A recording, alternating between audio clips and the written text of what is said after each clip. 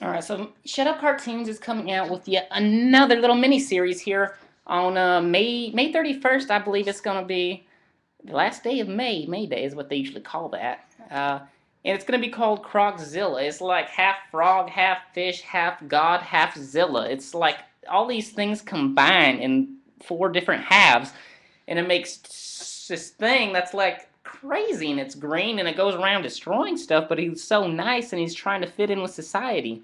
And I'm kind of excited for this. I want to see where this goes. Right now, my best thing right now from Shut Up Cartoons is the Pubertinas. I really like the Pubertinas, and I really like the uh, the do's and don'ts from there. So this is pretty exciting for me too, if you know what I mean. So you guys, if you want to check out this trailer, that's all it is right now is a trailer. You guys can check that out down below. Uh, you don't have to, but I'll definitely be watching for when the actual episodes come out, and I'm super excited for that. Smile, shut up, cartoons. I love you.